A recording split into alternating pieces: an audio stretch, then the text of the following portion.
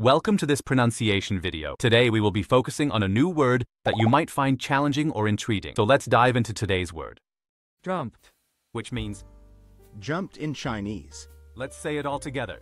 jumped, jumped, jumped, One more time.